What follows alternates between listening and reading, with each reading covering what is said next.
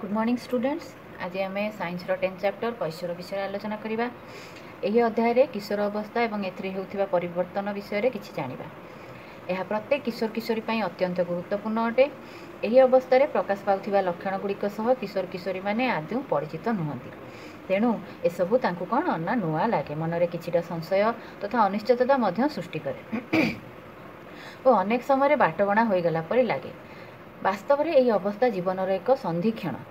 ତେବେ ମନେ ରଖିବାକୁ ହେବ ଯେ ଏହି ସମୟରେ ହେଉଥିବା ଦ୍ରୁତ ଅଭିବୃଦ୍ଧି ଏବଂ ପରିବର୍ତ୍ତନ ସମ୍ପୂର୍ଣ୍ଣ ଭାବେ ସ୍ୱାଭାବିକ ଓ ପ୍ରାକୃତିକ। ନ୍ୟାଚୁରାଲ୍ ପ୍ରୋସେସ୍ ଏଇଟା।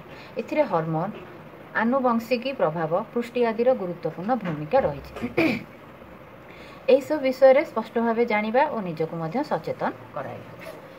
ଏବେ ଆମେ ପଢ଼ିବା କୈଶୋର ଓ ଯୁବକ୍ରାନ୍ତି ଜନ୍ମ ପରେ ମଣିଷ ଶରୀରରେ ତିନୋଟି ପର୍ଯ୍ୟାୟରେ ଦ୍ରୁତ ଅଭିବୃଦ୍ଧି ଘଟିଥାଏ।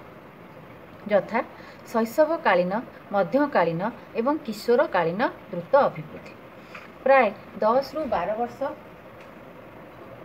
ବୟସ ବେଳକୁ କିଶୋରକାଳୀନ ଦ୍ରୁତ ଅଭିବୃଦ୍ଧି ଆରମ୍ଭ ହୋଇଥାଏ। ଏହି ଅବସ୍ଥାରେ ଶରୀରରେ ବହୁ ପରିବର୍ତ୍ତନ ଦେଖାଯାଇଥାଏ। ଏହା ବାୟପ୍ରାପ୍ତ ଅବସ୍ଥାରେ ଉପନୀତ ହେବାର ସଂକେତ ହୋଇଥାଏ। କେତେ ବର୍ଷ ଧରି ଏହିସବୁ ପରିବର୍ତ୍ତନ ହୋଇଥାଏ? ପ୍ରକୃତରେ ଏହା ଜୀବନର ଏକ ସନ୍ଧିକ୍ଷଣ ନା ଶୈଶବ ନା ବାୟାପ୍ରାପ୍ତ ଅବସ୍ଥା। ଏହାର କିଛି ବିଶେଷ ସଂଜ୍ଞା ଅଛି କି? ଆମେ ଏବେ ସେହି ବିଷୟରେ ଆଲୋଚନା କରିବା। ଏହା ପ୍ରାୟ ଦଶରୁ ଏଗାର ବର୍ଷ ବୟସରୁ ଆରମ୍ଭ ହୋଇ ଅଠରରୁ ଉଣେଇଶ ବର୍ଷ ବୟସ ପର୍ଯ୍ୟନ୍ତ ଚାଲୁ ରହିଥାଏ। ଏହାକୁ ଆମେ କୈଶୋର ବା କିଶୋର ଅବସ୍ଥା ବୋଲି କହୁ। ଝିଅମାନଙ୍କଠାରେ ଏହିସବୁ ପରିବର୍ତ୍ତନ ପ୍ରାୟ ବର୍ଷେ ଆଗରୁ ଦେଖାଯାଏ। ହଠାତ୍ ଉଚ୍ଚତା ବଢ଼ିବା ପୁଅମାନଙ୍କର ନିଶ ଉଠିବା ପରି ବହୁ ଶାରୀରିକ ପରିବର୍ତ୍ତନ ସହ ମାନସିକ ଓ ବୌଦ୍ଧିକ ସ୍ତରରେ ପରିବର୍ତ୍ତନ ମଧ୍ୟ ଘଟିଥାଏ। କିଶୋର କିଶୋରୀମାନଙ୍କର ଆଚରଣରେ ମଧ୍ୟ ପୂର୍ବ ଅବସ୍ଥା ତୁଳନାରେ କିଛି ପାର୍ଥକ୍ୟ ଦେଖାଯାଏ। ଏହାକୁ ଆମେ ଯୁବକ୍ରାନ୍ତି ବୋଲି କହିଥାଉ। ଏହା ଏକ ବିଶେଷ ଅବସ୍ଥା। ବୟସ ବଢ଼ିବା ସହ ପୁଅ ଝିଅମାନଙ୍କର ଉଚ୍ଚତା ବୃଦ୍ଧିର ହାରାହାରି ନିମ୍ନ ଚାର୍ଟରେ ଦିଆଯାଇଛି। ଏଗାର ବର୍ଷ ବୟସ ବେଳକୁ ପୁଅଟିଏ ତା'ର ସମ୍ଭାବ୍ୟ ଉଚ୍ଚତା ଏଇଟି ୱାନ୍ ପ୍ରତିଶତ ବା ଏଇଟି ୱାନ୍ ଶତକଡ଼ା ଏଇଟି ୱାନ୍ ପର୍ଯ୍ୟନ୍ତ ଓ ଝିଅଟିଏ କେତେ? ନା ଏଇଟି ଏଇଟ୍ ପ୍ରତିଶତ ଉଚ୍ଚ ହୋଇସାରିଥାଏ। ଯେତିକି ହାଇଟ୍ ହେବା କଥା ତା'ର ଏଇଟି ୱାନ୍ ପରସେଣ୍ଟ ପୁଅମାନେ ହେଇସାରିଥାନ୍ତି ଆଉ ଝିଅମାନେ ଏଇଟି ଏଇଟ୍ ପରସେଣ୍ଟର ଉଚ୍ଚତା ପାଇପାରିଥାନ୍ତି ତେବେ ଚାର୍ଟରେ ଦିଆଯାଇଥିବା ତଥ୍ୟ ଏକ ସୂଚନା ମାତ୍ର। ବ୍ୟକ୍ତିଗତ ସ୍ତରରେ ଉଚ୍ଚତା କମ୍ ବେଶୀ ହୋଇପାରେ। ଏହି ଚାର୍ଟକୁ ଭିତ୍ତି କରି ତୁମର ସାଙ୍ଗସାଥିମାନେ କେତେ ଉଚ୍ଚ ହୋଇପାରିବେ ତାହା ଆକଳନ ତୁମେମାନେ କରିପାରିବ। ସେମାନଙ୍କ ଭିତରୁ କିଏ ସବୁଠାରୁ ଡେଙ୍ଗା ଓ କିଏ ସବୁଠାରୁ ଗେଡ଼ା ହେବ ମଧ୍ୟ ଆମେ ଜାଣିପାରିବା। ସମ୍ଭାବ୍ୟ ଉଚ୍ଚତା ହିସାବ ସେଣ୍ଟିମିଟରରେ ବର୍ତ୍ତମାନର ଉଚ୍ଚତା ଇଣ୍ଟୁ ହଣ୍ଡ୍ରେଡ଼ ଏହି ବୟସରେ ଉଚ୍ଚତାର ପ୍ରତିଶତ ସମ୍ଭାବ୍ୟ ଏହିପରି ଆମେ ନିର୍ଣ୍ଣୟ କରିବା। ଉଦାହରଣ ଗୋଟେ ଦେଖିବା। ମନେକର ଗୋଟିଏ ପୁଅର ବୟସ ନଅ ବର୍ଷ ଏବଂ ଉଚ୍ଚତା ଶହେ କୋଡ଼ିଏ ସେଣ୍ଟିମିଟର।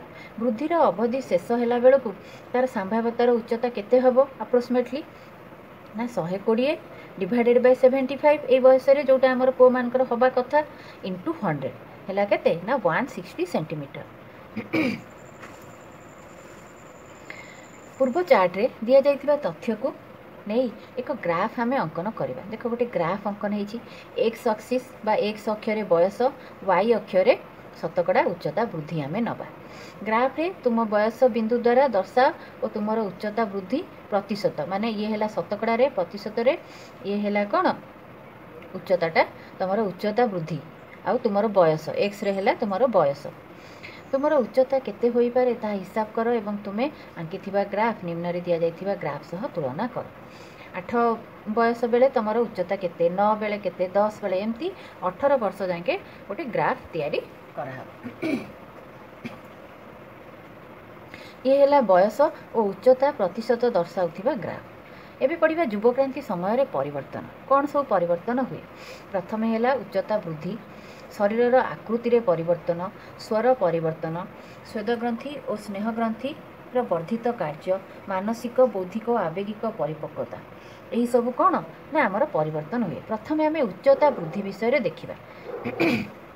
ପ୍ରାଥମିକ ଅବସ୍ଥାରେ ଝିଅମାନଙ୍କର ଉଚ୍ଚତା ବୃଦ୍ଧି ପୁଅମାନଙ୍କ ଠାରୁ ଅଧିକ।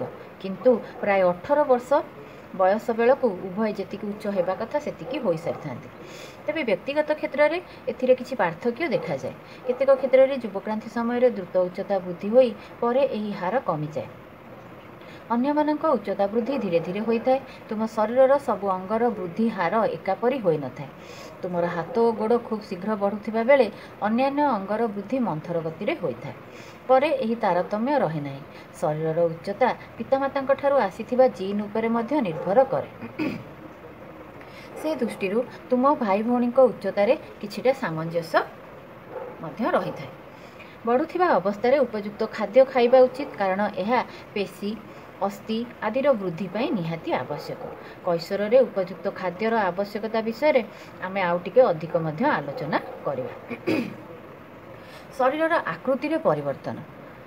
ଏହି ଅବସ୍ଥାରେ ଜନନ ଅଙ୍ଗର ବିକାଶ ଘଟେ ଏବଂ ଯୁଗ୍ମକ ଗ୍ୟାମେଟ୍ସ ଉତ୍ପାଦନ ଓ ପରିପକ୍ୱନ ଆଦି ମଧ୍ୟ ଆରମ୍ଭ ହୁଏ। ତାପରେ ସ୍ୱର ପରିବର୍ତ୍ତନ। ଯୁବକ୍ରାନ୍ତିରେ ପୁଅଙ୍କ ସ୍ୱର ପେଟିକା ଭଏସ୍ ବକ୍ସ ଯେଉଁଟା ବଢ଼ିଯାଏ ଫଳରେ ସେମାନଙ୍କର କଣ୍ଠ ସାମାନ୍ୟ ଫୁଲି ଆଗକୁ ବାହାରି ଆସିଥିବା ପରି ଦେଖାଯାଏ। ଏହି ଅଂଶକୁ ଗଳ ଘଣ୍ଟିକା ବା ଆଡାମ୍ସ ଆପଲ୍ କୁହାଯାଏ। ଆଡାମ୍ସ ଆପଲ୍ ମନେ ରଖିବ ଇମ୍ପୋର୍ଟାଣ୍ଟ ଏଇଟା ତୁମର ସଂକ୍ଷିପ୍ତ ଟିପ୍ପଣୀ ବି ଆସିବ ସର୍ଟ କୋଶ୍ଚିନ୍ରେ ବି ଆସିବ। କିନ୍ତୁ ଝିଅଙ୍କ ସ୍ୱର ପେଟିକା ଛୋଟ ହୋଇଥାଏ ଏବଂ ବାହାରକୁ ପ୍ରାୟ ଦେଖାଯାଏ ନାହିଁ ଫଳରେ ପୁଅ ଓ ଝିଅଙ୍କ ସ୍ୱରରେ ମଧ୍ୟ ପାର୍ଥକ୍ୟ ରହିଥାଏ। ସାଧାରଣତଃ ପୁଅଙ୍କ ସ୍ୱର କିଛିଟା କର୍କଶ ଓ ଝିଅଙ୍କ ସ୍ୱର ସାଧାରଣତଃ ସୁମଧୁର ହୋଇଥାଏ। ତାପରେ ଦେଖିବା ଶ୍ୱେଦ ଗ୍ରନ୍ଥି ଓ ସ୍ନେହ ଗ୍ରନ୍ଥିର ବର୍ଦ୍ଧିତ କାର୍ଯ୍ୟ।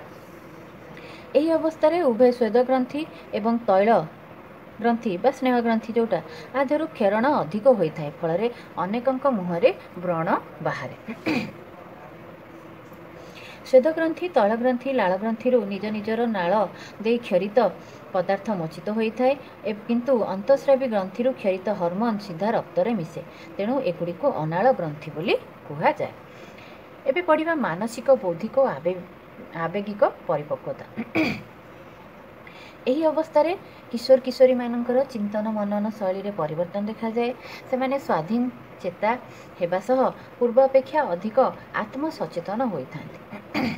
ବୈଧିକ ବିକାଶ ଘଟୁଥିବା ଦୃଷ୍ଟିରୁ ସେମାନେ ଭାବିବାରେ ଚିନ୍ତା କରିବାରେ ଅଧିକ ସମୟ ବିତାଇଥାନ୍ତି। ଏହି ସମୟରେ ମସ୍ତିଷ୍କର ସାମର୍ଥ୍ୟ ମଧ୍ୟ ବୃଦ୍ଧି ପାଏ ଫଳରେ ସେମାନଙ୍କଠାରେ ବିଭିନ୍ନ ବିଷୟ ଜାଣିବା ଓ ଶିଖିବା ପାଇଁ ଆଗ୍ରହ ବଢ଼େ। ବେଳେବେଳେ ଶରୀରର ଓ ମନର ପରିବର୍ତ୍ତନ ସହ ନିଜକୁ ଠିକ୍ ଭାବେ ଖାପ ଖୁଆଇ ନ ପାରି ସେମାନେ ନିଜକୁ କିଛି ପରିମାଣରେ ଅସୁରକ୍ଷିତ ମନେ କରନ୍ତି। ତେବେ ଏହିସବୁ ପରିବର୍ତ୍ତନ ସ୍ୱାଭାବିକ ଏବଂ ବୃଦ୍ଧିର ଏକ ଅଂଶବିଶେଷ ହୋଇଥିବାରୁ ଏହିପରି ଭାବେ ଅସୁରକ୍ଷିତ ମନେ କରିବାର କୌଣସି କାରଣ ନଥାଏ।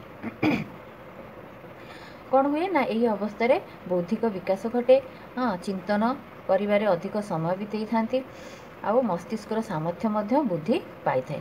ଅଧିକ ବିଷୟରେ ଜାଣିବା ଆଉ ଶିଖିବାରେ ମଧ୍ୟ ଆଗ୍ରହ ବଢ଼ିଥାଏ। ତେଣୁ ଶରୀରର ଓ ମନର ପରିବର୍ତ୍ତନ ସହ ନିଜକୁ ଖାପ ଖୁଆଇବା ଉଚିତ। ବିଚଳିତ ହେବା ଉଚିତ ନୁହଁ। ହର୍ମୋନ୍ର ଭୂମିକା। ହର୍ମୋନ୍ର ପ୍ରଭାବରେ କିଶୋର କିଶୋରୀମାନଙ୍କଠାରେ ଉପରୋକ୍ତ ପରିବର୍ତ୍ତନମାନ ହୋଇଥାଏ। ଏହା କୋଷଗ୍ରନ୍ଥି ବା ପିଟ୍ୟୁଟାରୀ ଗ୍ଲାଣ୍ଡ ଦ୍ୱାରା ନିୟନ୍ତ୍ରିତ ହୋଇଥାଏ। ଆଜି ଆମେ କ'ଣ ପଢ଼ିଲେ? ନା କୈଶୋର ଅବସ୍ଥା ଯୁବକ୍ରାନ୍ତି ଆଉ ଯୁବକ୍ରାନ୍ତି ସମୟରେ କିପରି ପରିବର୍ତ୍ତନ ଦେଖାଯାଏ ସେ ବିଷୟରେ ଆମେ ଆଲୋଚନା କଲେ। ଆମେ ନେକ୍ସଟ କ୍ଲାସ୍ରେ ପୃଷ୍ଟିର ଆବଶ୍ୟକତା ବିଷୟରେ ଅଧିକ ପଢ଼ିବା।